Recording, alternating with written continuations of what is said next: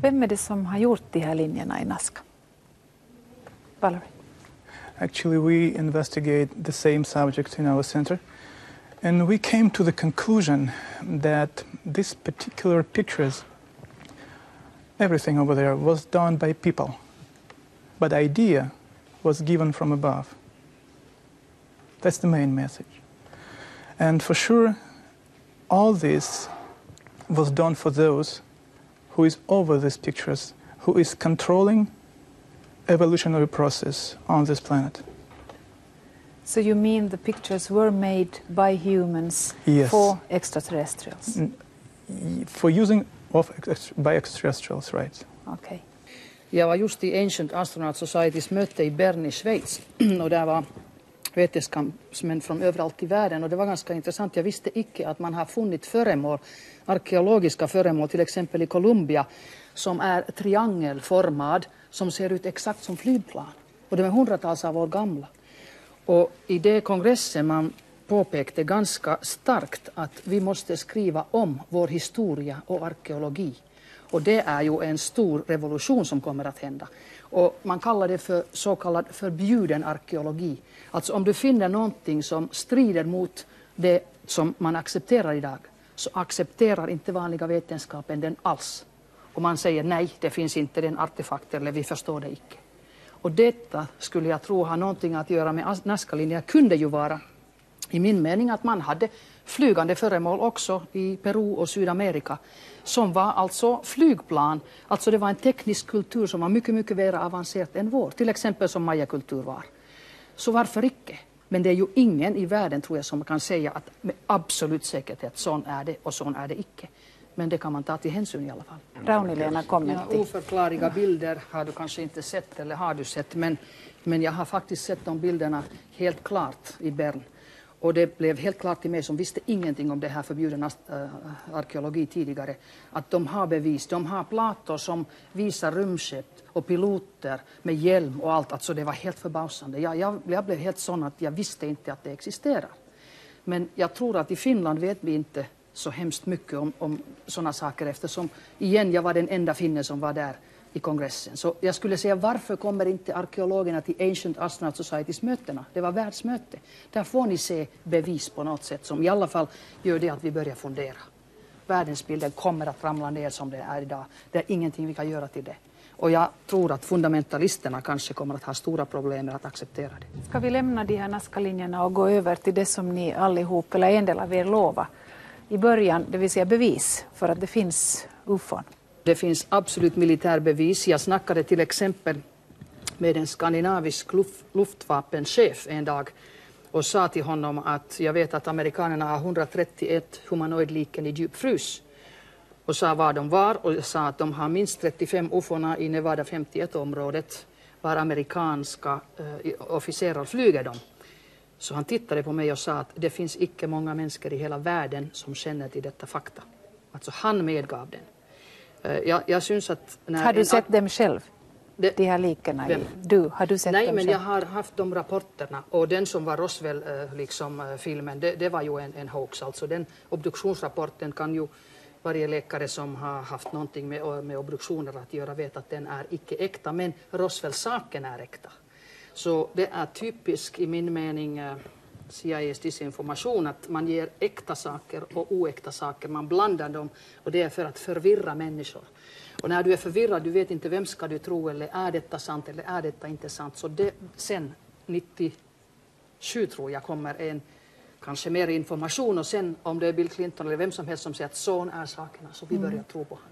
Så det är en psykologisk måte att, att tackla den här situationen. Man är så rädd att fundamentalisterna kommer att uh, icke kunna ta det, att vi är icke alena i universum och det finns absolut bevis.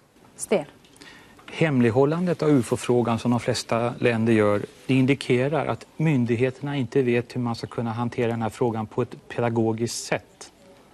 Och därför så tystar man ner informationer och sammanslutningar eller ska man säga slutsatser om det. Ja, men finns det alltså direkt bevis, vetenskapligt bevis? Det finns i flera länder, men det är inte off- officiellt. Ja, men varför är det Tillgängligt. inte? Skadar det någon? Ja, alltså, myndigheterna kan inte hantera frågan på ett pedagogiskt sätt till befolkningen. Och när de inte har nått den klarheten så väljer man att lägga locket på. Hur överföra budskapet till mänskligheten att vi har inte bara en utomjordisk grupp utan över tio utomjordiska grupper som idag ligger i kontinuerliga projekt med jorden. Mm. Det är Har du hört till en av dem? Ja. När har du senast haft kontakt med dem?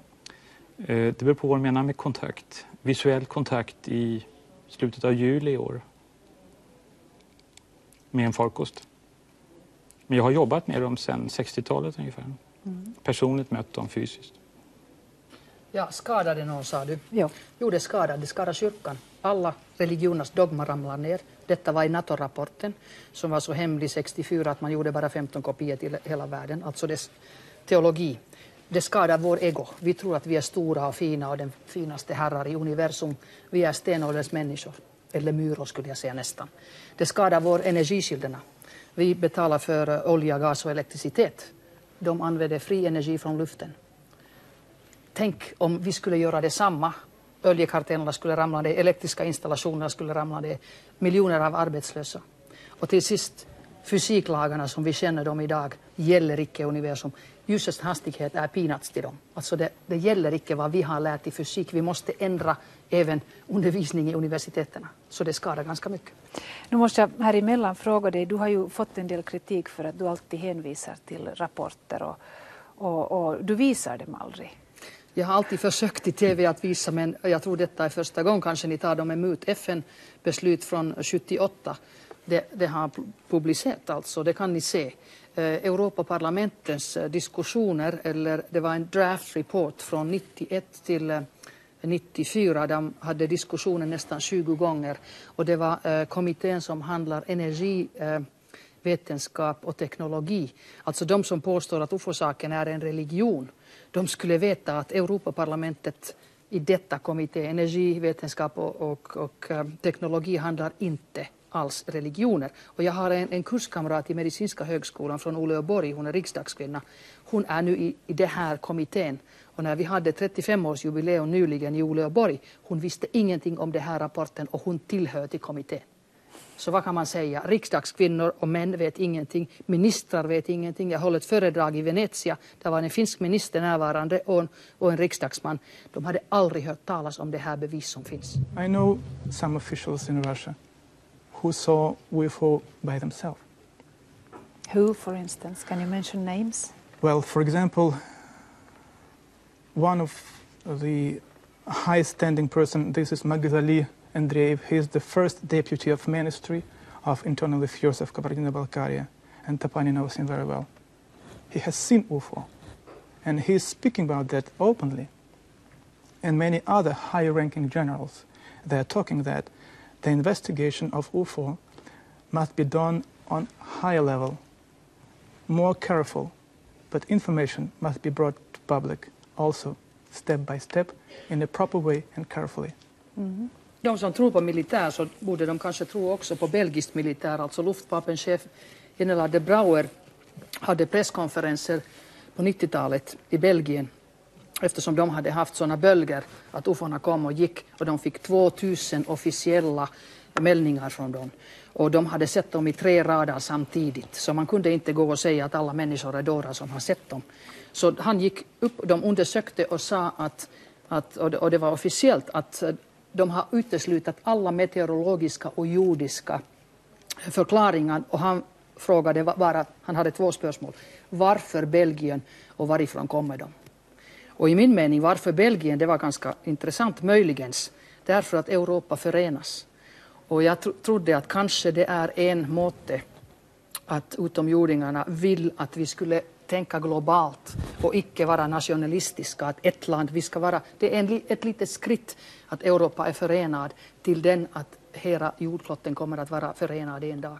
Vi måste ju ha en, en total eh, annorledes eh, syn på, på livet i universum och livet som vi lever idag också. Istället för att ha Tjetjenien, Rwanda och, och, och Jugoslavia strid där, där vi eh, dödar vår egen ras. Vi, vi skulle ju tänka på ett mycket positivt sätt. I would like to add some information about UFO case that happened in Russia.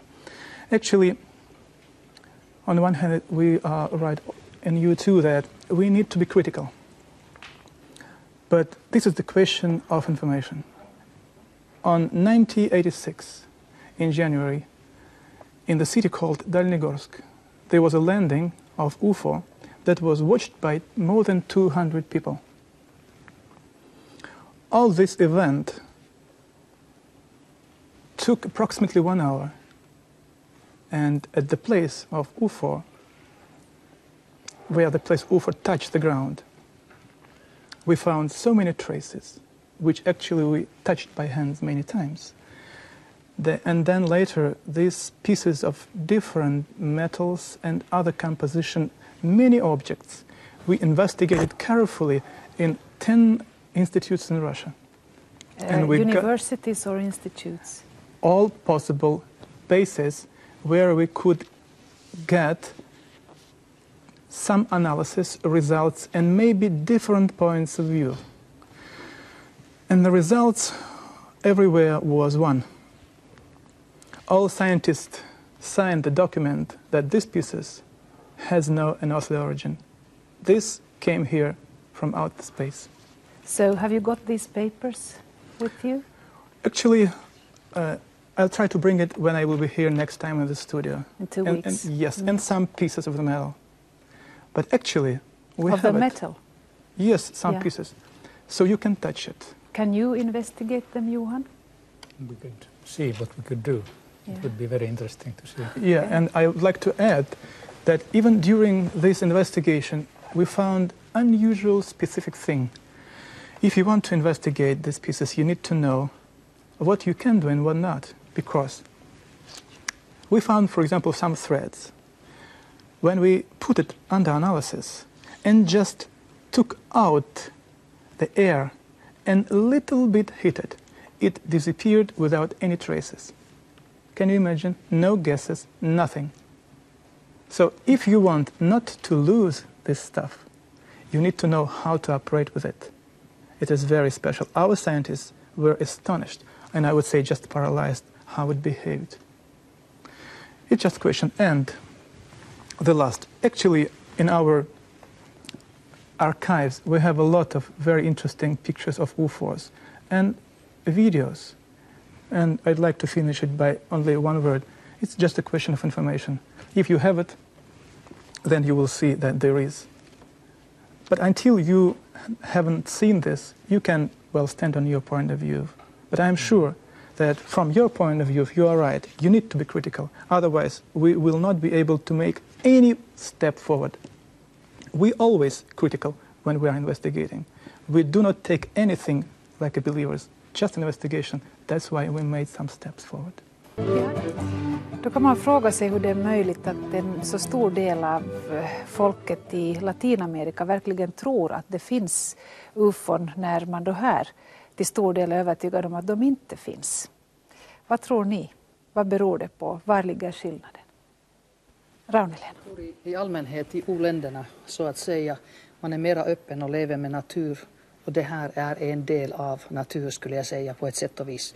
Och därför det är naturligt att människorna som lever i vad vi kallar för primitiva förhållanden, de upplever saker som vi som bor i byar och, och storstäder kan aldrig göra.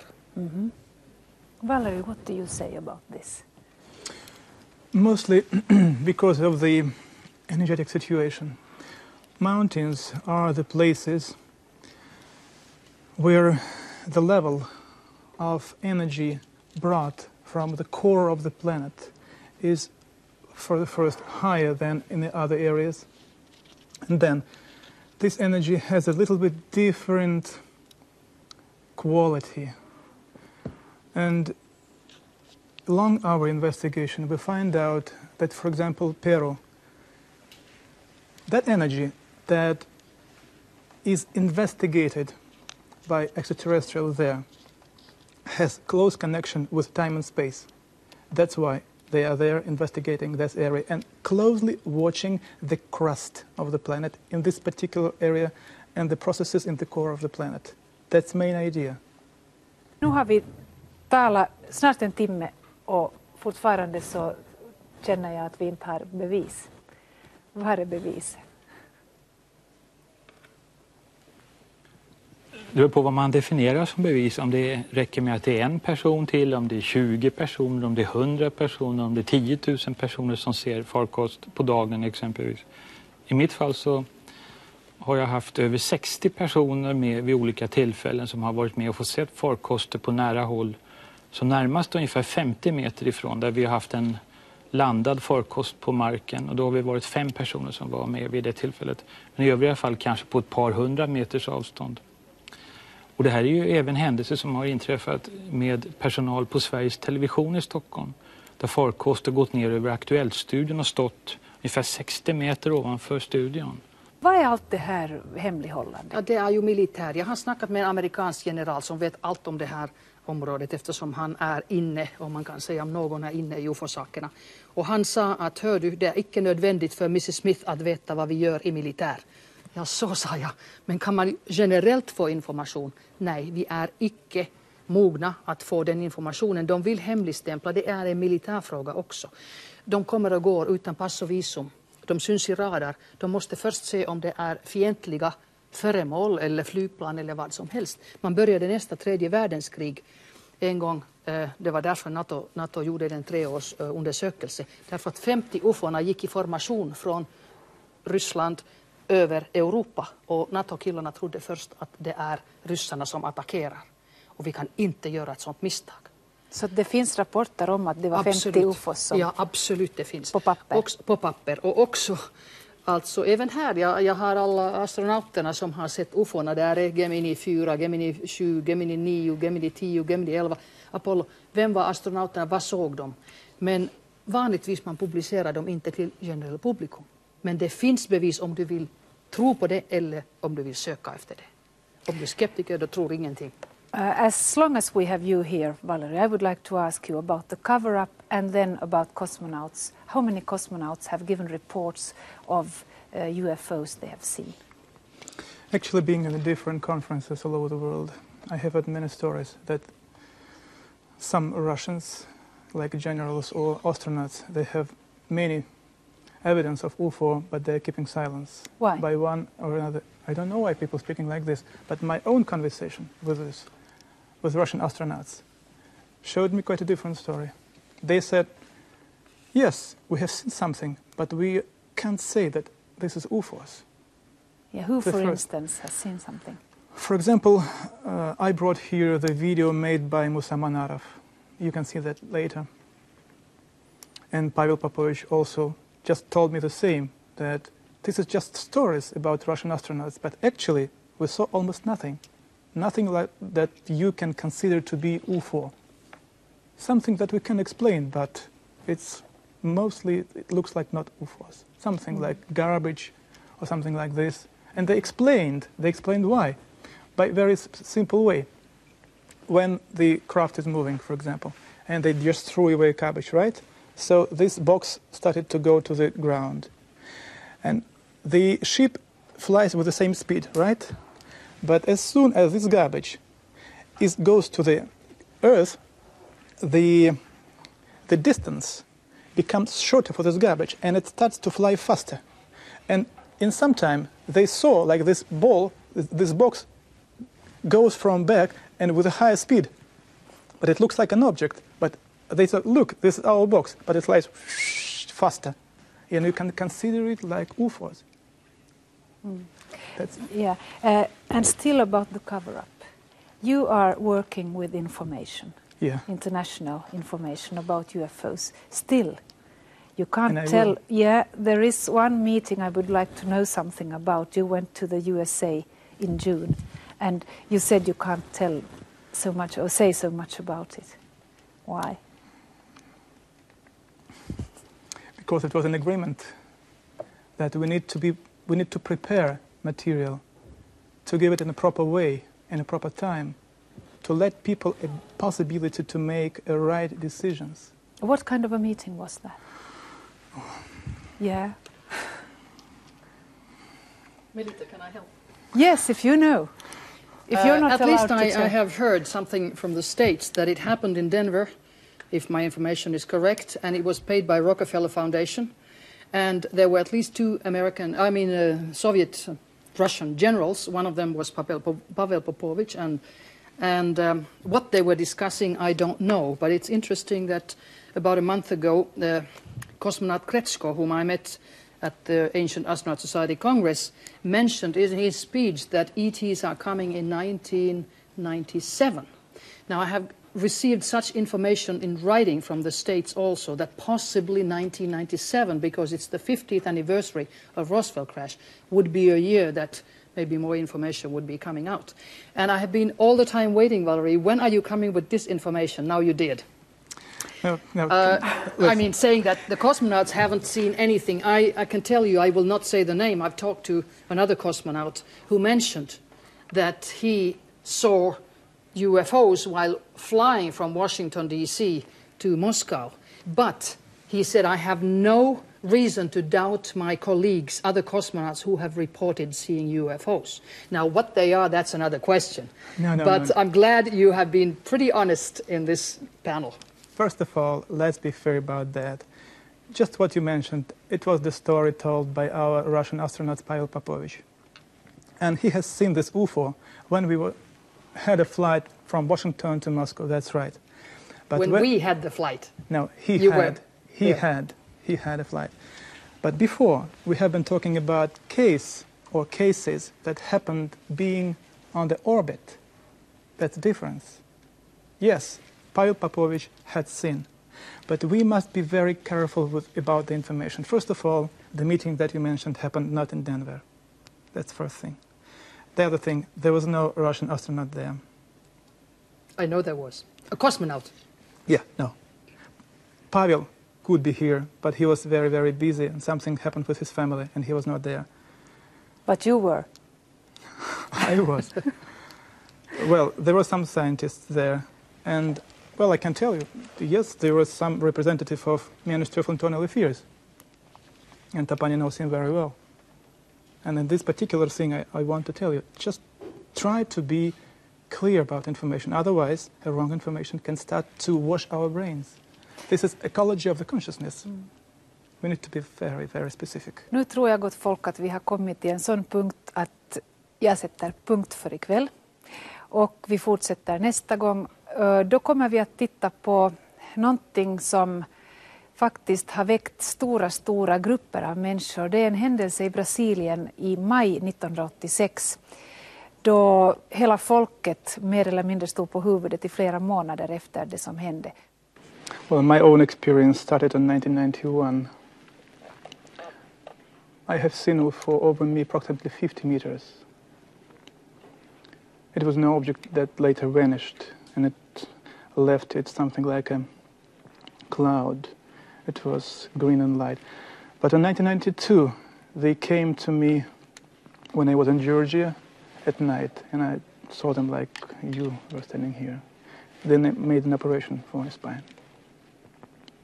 Cesar Sos, engineer and um, free researcher from Brazil, now living in Paris. Well, my close ex- uh, experience in the UFO case, uh, I was very lucky. I was in the United States uh, together with some friends in a trip, and when uh, we were coming back to the hotel, we saw a formation of fly- of uh, strange lights, and one of the lights just detached from the rest and began to come down, down, down, and down just above our the, our van and then came uh, very at a very close range, I guess about 30 or 4 meters. It, I could, um, as this subject I always was interested, I could perceive the, the shape of the disk. It was exactly the so-called Adamski type disk. It had three balls and they blinked alternatively into red and white, red and white, and red and white alternatively and they, they seem to have uh, wanted a kind of a contact, but this is just my supposition. But the, when we stopped the car in order to try to make the contact, what happened? The helicopters and the, the Air Force planes just arrived and make the, the flying disc or whatever just vanished from our eyes. I never saw a phenomenon like that. I have to consider definitely it was something real not an hallucination. Otherwise, the Air Force was not there. wouldn't be there to check. Mm-hmm. And Alexandre Frascari from Brazil and also living in Paris, and you too are an engineer and a researcher. hmm Yeah. Well, personally, I never had uh, an experience of seeing these UFOs, but uh, I cannot see any reason why um to deny the existence of UFOs, because in doing so, we would like be repeating what happened in medieval ages when the church just refused uh, Uh, and attacked Galileo when he said that Earth was not the center and- of the universe. It's important that science today doesn't assume the same attitude, otherwise we'll be entering a so dogmatic, intransigent period as that time. Den 19 maj fick nämligen området mellan Sao Paulo och Rio de Janeiro besök av, av 21 föremål som då förklarades vara oförklarliga. Eh, de rörde sig under åtta timmars tid på det här området. De eh, befanns eh, åka i en hastighet av 3600 kilometer i timmen. De flög i zigzag, de stannade plötsligt, de försvann eller blev osynliga och kom tillbaka igen. Signaler från de här föremålen uppfattades av ett 50-tal radarstationer i området. Do the two of you remember this? Yes, uh, I was in Brazil at that time. I, I live outside, but uh, at that time I was in Brazil, and I remember this in television. I saw exactly the same program there. Yes. Yeah, I remember. Yeah. Uh, was there a discussion after that? Well, the discussion country? was exactly what you, you saw there. The phenomenon is obvious. What the science, for example, he searches for evidences and proofs that can prove the phenomenon. It was obvious. The radar saw many reliable sources saw the phenomenon. They described in a very clear manner. The, the phenomenon was followed for about eight hours, how they explain there. The problem that, and in the, in the end of all that, they are not able to admit something that they cannot explain.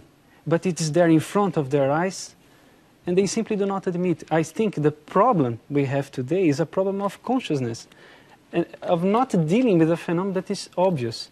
This would mean for, the, for mankind, or let's say for the, the, the peoples that control the world, the peoples in power, would mean they, uh, that they would have to leave their position of uh, a position of Security control, sec- security, yes, because people search for that.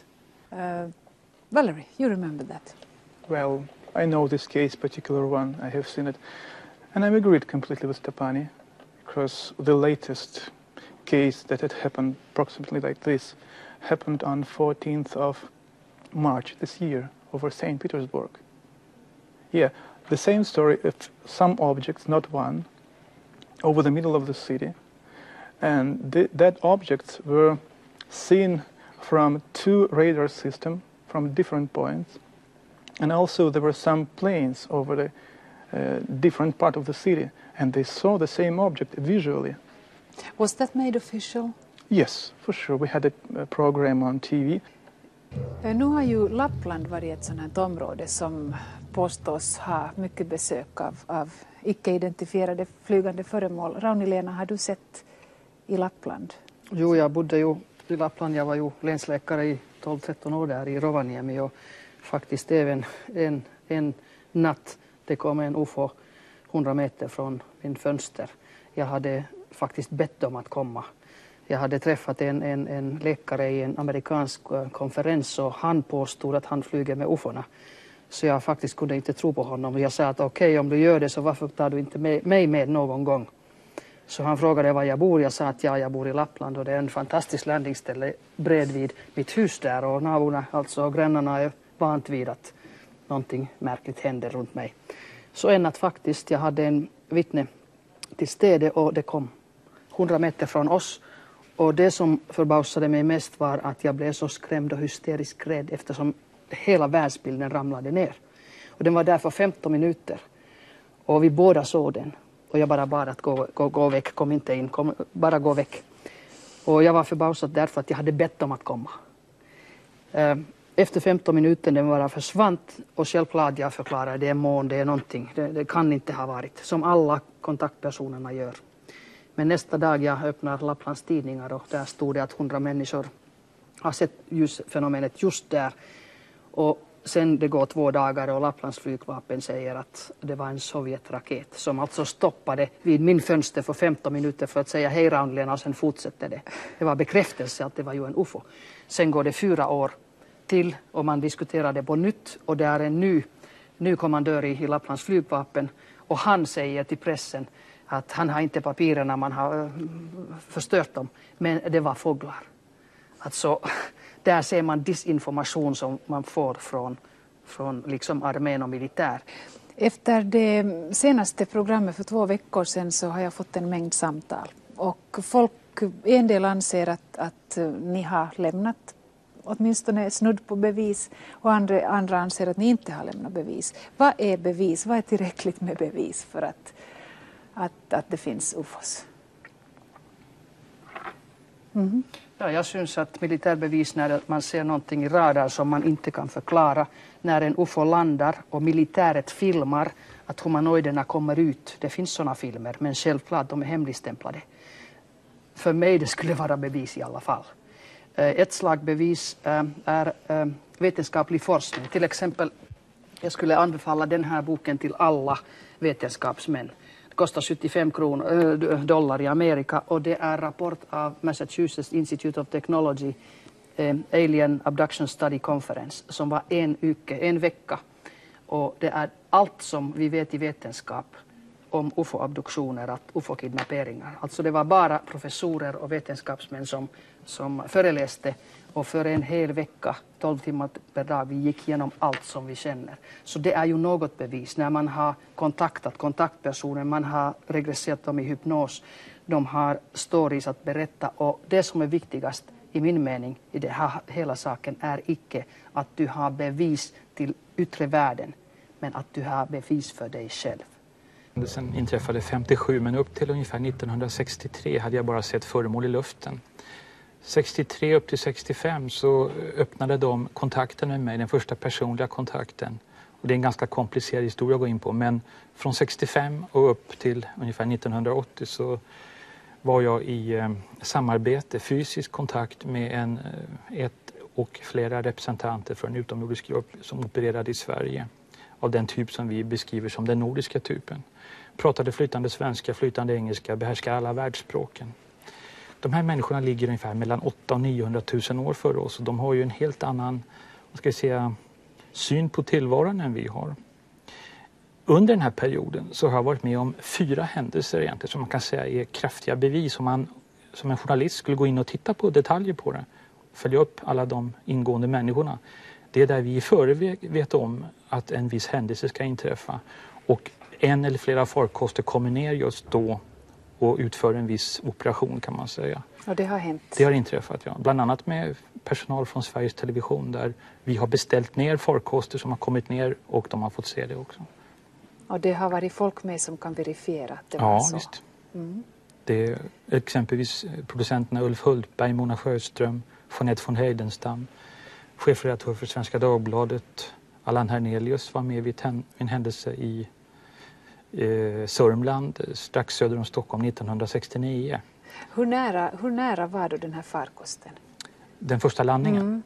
Ungefär 50 meter var vi. Vi var fem personer då som var med i en eh, planerad kontakt. Det var jag och Christer som var nybörjare då och vi fick tillstånd att bara stå ungefär 50 meter ifrån medan de andra mötte representanter för eh, den grupp som kom med skeppet. Det var tre farkoster närvarande varav en var landad och två låg i luften under tiden. Tog ni fotografier? Vid Nej, det gjorde vi inte den gången. Vi var nybörjare kan man säga så att vi hade liksom inte de tankegångarna att försöka dokumentera utan vi bara hakade på. Vi fick möjlighet att vara med om kontakt och det gjorde vi. Den här utomjordiska gruppen, de önskar dela med sig av sitt vetande utan att invadera vår egen utveckling. Det är väldigt viktigt att veta det att de forcerar inte sin plan till oss. De arbetar med en psykologisk plan som sakta vänjer oss vid att de finns. Psykolog, psykologer kan eh, kanske gå in närmare på just den här betingelse kallas det för. Man vänjer människan via att de existerar på ett mycket försiktigt sätt. Mm. Och så är det viktigt också att en förutsättning för kontakt det är att den är sammanlänkningsbar med den kunskap vi redan besitter. Men så är det väl inte alltid? Jag menar, det finns människor som har sett eller säger att de har sett. Ja, men det kanske inte betyder en kontakt. Att du ser en farkost behöver inte kanske alltid betyda att en kontakt upprättas. Mm. Men jag menar att upprätta en kontakt mellan en individ och en utomjordisk representant. Det förutsätter just den här att den är sammanlänkningsbar på något sätt med den individen. Mm. Det ser alltså ut som om det inte blir något utomjordiskt besök här i studion ikväll men det vi har i alla fall det är det utlovade metallskrotet eller metalldelarna med vidhängande analys. Valerie, is that what you promised? Not completely because you know this periods after that first program I have been to Sweden and Germany and I asked my friends to send a post here and so happened that this post we didn't receive yet here But maybe perhaps it, for, for another yeah, time, next time or something. Maybe it, mm. we, we, we, have it tomorrow, day after tomorrow. Mm. But in any way, I have here something else very interesting. Very interesting. And that's also metal. Yes. Mm. Found and, somewhere. Yeah, but this object is, on, on the other hand, is even more interesting for us. This is the metal spiral that we found. First spirals were found in 1991 the investigators were searching for gold in the northern areas of Ural Mountains. And you know, the way how to do it is very simple. They take a lot of ground, they wash it and wash it and wash it, and then they have so-called they have so-called um, electromagnetic heavy substance. Then they put it under microscope, and they try to find out what they have. And look what they found. This is so-called electromagnetic substance. And suddenly they noticed a lot of spirals here. Spirals, big, big ones, small ones, a lot of broken spirals. We found them on the depths of 12 meters. It says that this particular layer is dated between 318,000 years or 240,000 years. It says that if these spirals were brought there 318,000 years ago, so probably somebody was here who was operated with it. Was this very far from a town, very far out? Approximately 100 kilometers from the town, and then in the wilderness completely. No any villages. There is nothing there. There is no military bases. There is no the uh, traces where military are flying. Nothing. And even in the city, there is no any technologies that are dealing with it. Okej, okay. Johan, du har undersökt det här, eller låtit mm. undersöka. Vad säger den analys du har med dig idag? Ja, alltså det som jag gjorde, som jag lovade här att göra, så jag tog de här proverna som jag fick av Valerio och, och det där eh, gjorde fotografier av den i dels sån här optiskt vanligt ljusmikroskop i vårt laboratorium där jag jobbar. Och, och det, där, det är de här bilderna som vi har här. Och det ser då ut faktiskt som ett sånt här framvaskat guldgrävarmineral. eh, eh och bland det här mineralet så finns det då olika sådana små spiraler, ser ut ungefär som, som ett urverks fjädrar eller något liknande, alltså alldeles små fina eh, spiraler av olika slag och fragment av spiraler. Och de har lite olika färger också, så att de, en del är blåa, en del är gula och, och, och det finns eh, av olika material. Så tog jag och plockade ut av de här några stycken sådana här lite mer speciellt utseende spiraler och eh, gick med dem till universitetets eh, elektronmikroskop, satte den på en sån här liten Eh, substratskiva och så gjorde vi en sån här uppförstoring av de här så att vi gjorde faktiskt med elektronmikroskop då den här undersökningen. Det är en metallkärna och kring den är en, en sån här metallfjäder. Och med det här elektronmikroskopets hjälp så kan man då ta reda på vad det är för ämnen i dem så att vi konstaterar då att, att det är wolfram i den här metallfjädern kring och sen är det molybden i mitten på de här. Alltså till samma resultat som man kom till i, Ryssland? Så det är samma, samma resultat mm. som de har kommit till där. Nu är det något ovanligt med det här? det enda man kan säga så de är garanterat inga naturliga naturliga, naturligt förekommande, eller alltså i naturen allmänt förekommande fenomen de här, utan de här är nog gjorda av några intelligenta varelser. Och, och det där, då är frågan det helt enkelt att vad är den, varifrån är de? Mm. Att, att är eh, en källkritisk bedömning av den här fyndplatsen, är den giltig? Vi måste ha bevis för att de här kommer från det 12 meters djup inne i, i de här eh, Eh, jordlagren för att kunna lita på den här bedömningen helt enkelt. Valerie, is that something you could fix for us? A paper no that... problem, for sure. We even can organize an expedition there together with you. Yeah. I hope that you will okay, be there okay. and with, with our friends. But, but you mean you can fix a paper that says and confirms that these sure. samples have been found? Yes, Yeah. because they were found by scientists and geologists, Yeah. And they for sure can give the papers saying that this particular thing we found on the certain depths in the certain areas, because they were found in four different places, and the range between is 45 kilometers. om man kan verifiera det där, alltså nu ett papper, så det är ju igen ett papper, alltså det finns någon som står bakom det. Och, och det där, eh, men att om man kan verifiera det här då i form av att till exempel gå på ort och ställe och konstatera att de här jordlagren inte är omrörda och att de faktiskt är på det djup där de är eh, påståtts att de har hittat så, så det där, då är det ju klart att, att det här är ett fynd som gör att vi får ifrågasätta vår historia. Mm, Raunilena. Jag är helt enig med Tapani. Eh, Jag syns att de är här också, icke bara för att varna oss, men också för att lära oss. Eftersom kontaktpersonerna, oavsett i vilket land de är, säger alltid det samma sak, att efter vanliga medicinska undersökelser som de gör på vår kropp till exempel, sen kommer en, en fas nummer två där man får undervisning. Och då får vi se i vilken sammanhang vi är en del av universet. I vilken sammanhang vi egentligen tillhör till deras utveckling lika väl som till vår egen. Och de är bekymrade att vi har inte förstått att vi ödelägger hela jorden just nu. Vi kan ju göra det hur som helst. Och det är mycket viktigt också att de tar kontakt när man ofta säger varför kan, alla, kan, kan inte alla se dem? De tar så att säga quote, quote, kontakt med sina egna skulle jag säga. Det vill säga med människor som har en energi som kanske har varit i kontakt med dem tidigare, som har varit i så kallad tidigare liv. Det finns ju ingen tid, linear tid där. Allt händer nu holografiskt, men om vi tänker på linear tid. Människorna som har sin energi, som har levat till exempel på en annan planet i en annan dimension och kommer ihåg det, eller de vaknar oss upp. deras närvaro i vår värld så att säga, det får till stånd att vi sakta omskapar vår världsbild, vilket leder till en utveckling för människosläktet. Och man kan väl säga att det, en av deras målsättningar är att få oss att bli sökande, att söka, förstå vår roll i universum, få oss att förstå oss själva så att säga. Men när Raunilena säger att de, de som ser ufon, så det är de som har samma energi som, som eh, rymdfolket så att säga. Kanske en del av dem, men kanske inte alla. Inte? Ja, Nej. På, på ett sätt och vis jag skulle säga att de som ser dem, de har en frekvens som motsvarar, alltså det är en resonans. Eh, till exempel eh, på ett enkelt sätt man kan säga att de har en antenna. De som inte tittar på TV2 ikväll kan inte se vårt program. Men de som tittar, de har själv tryckt på knappen.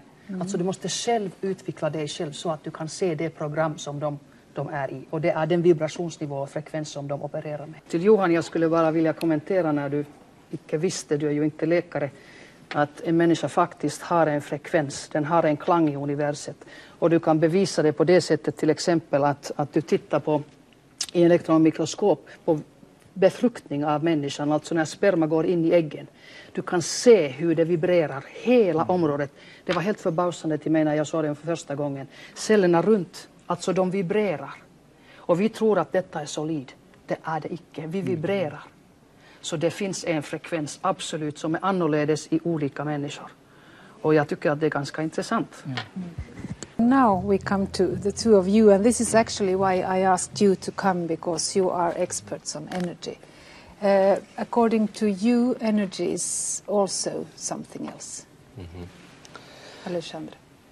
Well, I would say that uh, usually we want to, be, want to believe that what, exi- uh, what exists is what we know.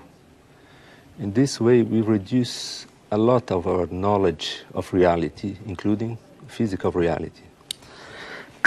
For example, we may know a few planets uh, in this solar system, but many other planets exist and they can affect us, even if we don't know them.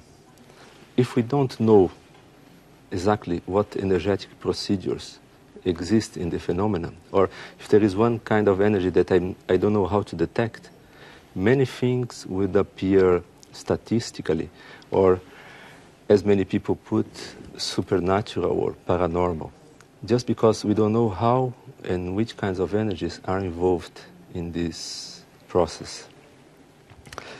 But, Uh, but you, you, you claim that every paranormal, oh, I don't know every, but uh, anyway, paranormal phenomena can be explained by physics.